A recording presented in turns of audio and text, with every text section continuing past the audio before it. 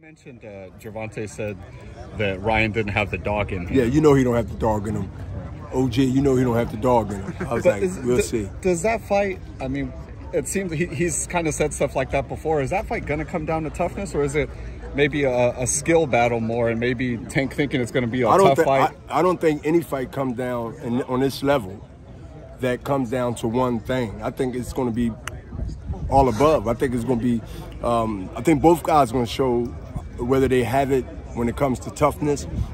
I'm gonna say I'm, I'm gonna say right now they both have it to get where they at now.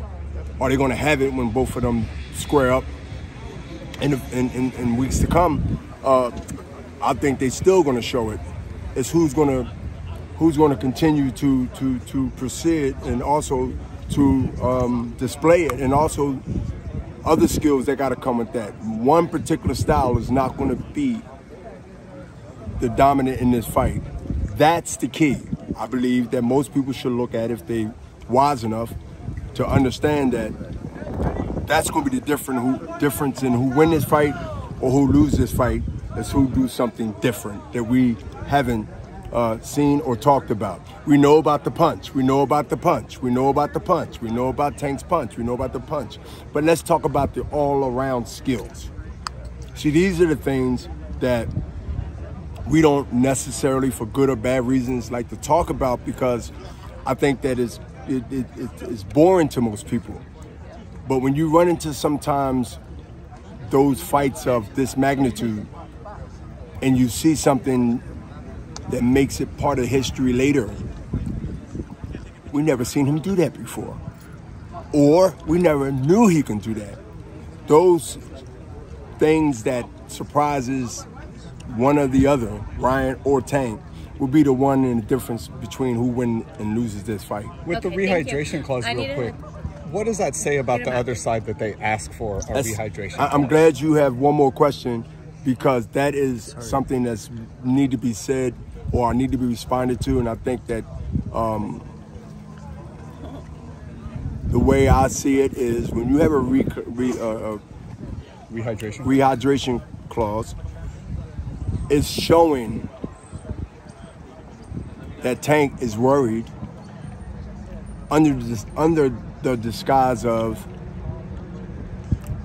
I'm not worried. When you make the weight, basically, I look at it as you made the damn weight.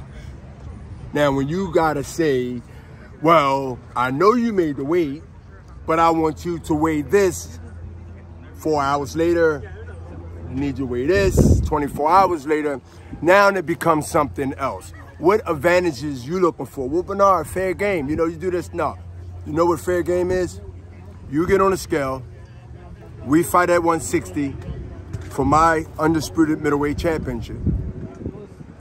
I get on, you get on the scale, and I get on the scale, and we we make that weight. That's the weight we agreed to. But now when you start saying to make this fight happen, for you to make this fight happen, and I want to prove my greatness, because I believe I'm already great. That's what Tank is saying, really. This is just certified stamp of approval. Then I wouldn't be worrying about too much how much you weigh. I just want you to weigh what you agreed upon, and now we can go ahead and fight. I don't want any excuses that you had to cut this weight, you had to weigh this 24 hours, you get another weigh in uh, to make sure you didn't rehydrate up to whatever you rehydrate up to. Because to me, the weight doesn't make you better than me. The weight doesn't make you less better than me.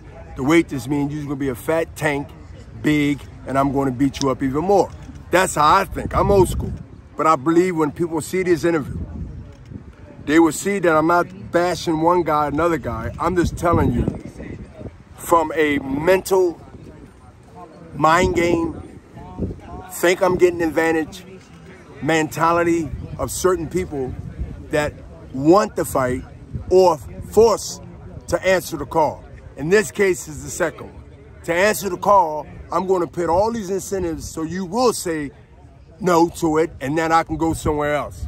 So now when you have these things called concessions and you're not checking them off saying, well, I'm definitely not going to do that. Ryan didn't do that.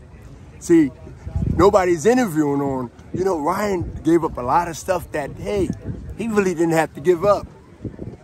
Why do you think he done that? He dared to be great. We talk it. We might even fantasize about it. But how many people really mean it? Now we're going to see. Thank you. Thank you.